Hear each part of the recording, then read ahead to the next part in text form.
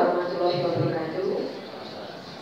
Alhamdulillahirrahmanirrahim Wassalatu wassalamu ala asrafil anbiya wal mursalin wa ala alihi ajmain. Yang kami hormati Bapak Wakil Bupati Kapuas, Bapak Dr. Andes Haji Muhammad Mahfud Ibu NN. Yang kami hormati Bapak Kepala Kementerian Agama Kabupaten Kapuas, Bapak Dr. Andes Haji Ahmad Bahrudin MAP. Kemudian yang kami hormati juga Bapak eh, Kepala Puskes Haji Kementerian Kesehatan Republik Indonesia yang sedang dalam perjalanan yang kami hormati eh, pengurus pusat AKHI yakni Bapak Dr. Haji Firdaus Yusuf Gusti dan juga Bapak Dr. Haji Joko Cahyono Kemudian yang kami hormati juga adalah uh, seluruh pengurus dan anggota AKHI Kabupaten Kapuas serta Raja juga kepada yang kami hormati Ketua Ikatan Cendekiawan Muslim Indonesia Bapak uh, Dr. Junaidi SKN SDMAP Endes kemudian juga kepada para narasumber jatah haji uh, seluruh profesi kesehatan di Kabupaten Kapuas panitia dan juga peserta serta Bapak Ibu undangan yang berbahagia. Segala puji bagi Allah Subhanahu taala yang telah memberikan nikmat iman dan juga kesehatan sehingga pada hari ini kita semua dipertemukan dalam uh, sebuah kegiatan seminar kesehatan haji. Insya Allah penuh berkah karena momentum ini merupakan uh, salah satu proses bagi para tamu Allah. Bapak Ibu yang kami hormati, sebelumnya kami juga menyampaikan permohonan maaf dari Bapak Kepala Dinas Kabupaten Kapuas karena beliau saat ini luar daerah dan beliau menitipkan salam bagi Bapak Ibu semua. Untuk itu yang saya bacakan ini adalah amanah dari beliau. Hadirin yang berbahagia, penyelenggaraan haji merupakan tugas nasional yang diamanatkan oleh Undang-Undang Nomor 13 Tahun 2008.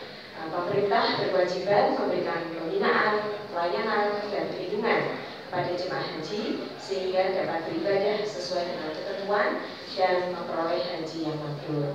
Nah, keberadaan tenaga kesehatan sebagai petugas kesehatan haji ke depan atau pendamping haji ini sangat strategis sebagai uh, pihak yang setiap selalu menampung keluhan dan permasalahan dalam pelayanan haji ini harus uh, cepat direspon dan diselesaikan dengan baik.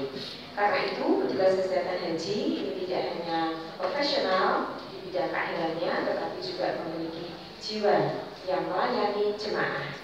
Semangat kerja dalam sebuah tim, serta memiliki daya tahan terhadap stres, ya, dan juga mampu beradaptasi dengan cepat uh, karena kondisi yang selalu tidak terduga.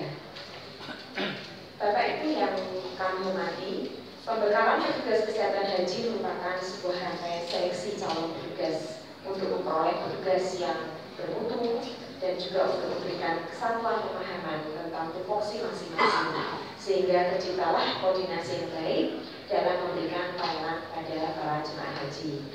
Nah, seminar kesehatan haji ini untuk petugas kesehatan ini berorientasi pada pemenuhan kebutuhan untuk memberikan pelayanan dan memecahkan permasalahan yang dihadapi oleh para jemaah selama masa ibadahnya.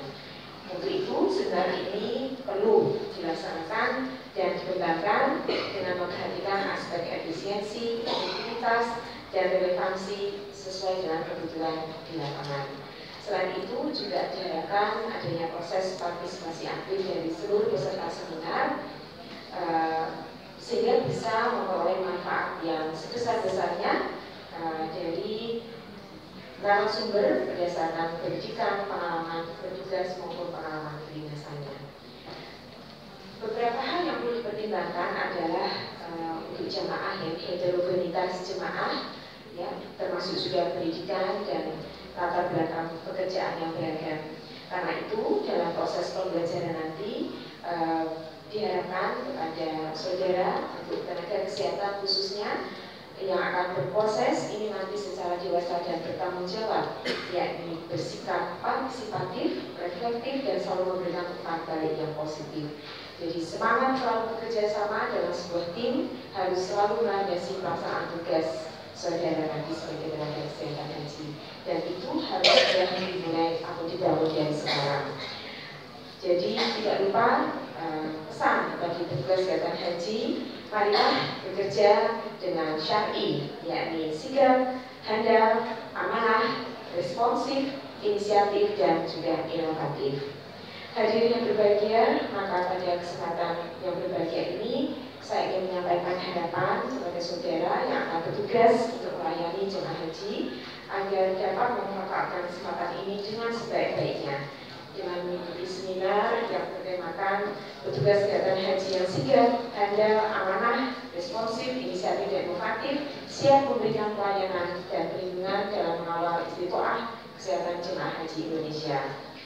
Mudah-mudahan dapat mengikuti acara ini dengan penuh kesungguhan dan melalui seminar ini saudara akan menggali berbagai pengetahuan dan keterampilan yang akan menjadi dasar untuk pembinaan tim nantinya membangun kebersamaan dan mengembangkan jejaring baik dalam bertugas selama penyelenggaraan haji nantinya. Dan setelah mengikuti seminar ini, Insya Allah mudah-mudahan saudara akan memiliki bekal yang cukup untuk mengemban tugas melayani tamu Allah sebagaimana amal mudah-mudahan dan pada gilirannya nanti kami mohon kepada Bapak e, Wakil Bupati Bapak Bupati untuk berkenan memberikan sambutan sekaligus arahan e, untuk kegiatan seminar haji pada kali ini. Demikian e, akhir kata saya ucapkan selamat mengikuti seminar kegiatan haji. Semoga saudara sekalian selalu bersemangat sebagai tenaga kesehatan sehingga mampu mengikuti rangkaian ini dari awal hingga akhir. Semoga Allah Subhanahu wa taala senantiasa memberikan kesehatan, keberkahan, kemudian urusan bagi kita semua. Assalamualaikum warahmatullahi wabarakatuh. Kuala Kapuas, datang Mesmender Kepala Dinas Kesehatan Kabupaten Kapuas, Bapak Adewi SKNMN. Terima kasih. Terima kasih